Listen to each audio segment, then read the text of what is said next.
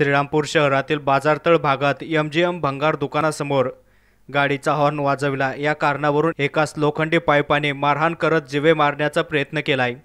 या प्रकरणी श्रीरामपूर शहर पोलीस ठाण्यात दोघा जणांविरुद्ध गुन्हा दाखल करण्यात आलाय. सदर घटनेतील एका आरोपीस पकडले असून दुसरा पसार आहे. श्रीरामपूर शहरातील बाजारतळ भागात एम जी एम भंगार दुकानासमोर महिंद्रा झायलो गाडी क्रमांक एम एच वीस सी एच चोपन्न पंच्याहत्तर हिच्यामधून जाणारे किरण धोत्रे व सागर मस्के यांनी गाडीचा हॉर्न वाजविला. तेव्हा तेथे असलेला समीर लतीफ पिंजारी वय वर्ष चोवीस राहणार वार्ड नंबर दोन श्रीरामपूर. हा म्हणाला की तुम्हाला जाण्यासाठी रस्ता रिकामा आहे हॉर्न वाजू नका. असे म्हटल्याचा राग आल्याने दोघा जणांनी शिवेगाळ करत आज तुझा शेवटचा दिसतोय तुला संपवून टाकतो. असे म्हणत भंगारच्या दुकानासमोर पडलेला लोखंडी पाईप घेऊन हातावर व पायावर मारला.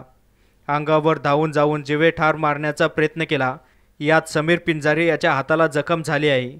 या प्रकरणी समीर लतीफ पिंजारी या तरुणाने श्रीरामपूर शहर पोलीस ठाण्यात फिर्याद दाखल केली असून पोलिसांनी किरण धोत्रे तसेच सागर मस्के दोघे राहणार बाजारतळ वार्ड नंबर तीन श्रीरामपूर यांच्याविरुद्ध भारतीय दंडविधान कलम तीनशे सात पाचशे चार तसेच पाचशे सहा प्रमाणे खुनाच्या प्रयत्नाचा गुन्हा दाखल करण्यात आला आहे.